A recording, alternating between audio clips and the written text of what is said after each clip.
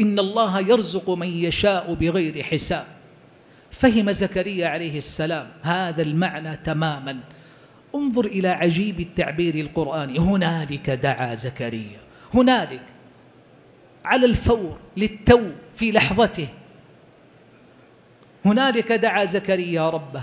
قال رب هب لي من لدنك ذرية طيبة إنك سميع الدعاء. ما زكريا عليه السلام؟ ذكر رحمة ربك عبده زكريا إذ نادى ربه نداء خفيا. قال ربي إني وهن العظم مني واشتعل الرأس شيبا ولم أكن بدعائك رب شقيا. ثم ذكر أيضا عن امرأته وكانت امرأتي عاقرا وقد بلغت من الكبر عتيا. كل أسباب الحمل ممتنعة. كبير في السن يئس رق عظمه وشابت لحيته وامرأته كبيرة عاقر لا تلد لا تلد. فالولد لا يأتي منه ولا منها بأسباب البشر بحسابات البشر. لكن ماذا قال؟ قال ولم أكن بدعائك رب شقيا. سأل وطلب لأنه يطلب الله الذي لا يعجزه شيء في الأرض ولا في السماء. فهب لي من لدنك وليا. ولما سأل ما سأل مجرد الولد؟ قال يرثني ويرث من آل يعقوب. واجعله ربي رضيا. سأل فرفع سقف المطالب. ما طلب الولد؟ فحسب. طلب الولد والنبوة للولد والصلاح وإرث النبوة الباقي. يا أخي عندما تقف أمام الملك فاطلبه على قدر عظمته لا على قدر فقرك أنت وحاجتك.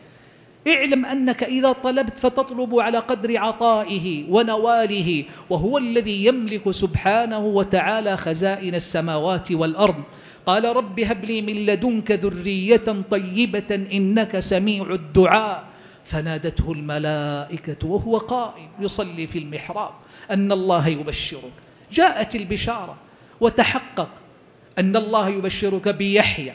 مصدقا بكلمة من الله وسيدا وحصورا ونبيا من الصالحين. أرأيت كيف يأتي العطاء؟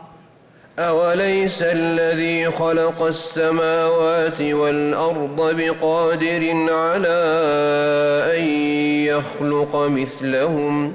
بلى وهو الخلاق العليم. إنما شيئا أن يقول له كن فيكون. فسبحان الذي بيده ملكوت كل شيء وإليه ترجعون.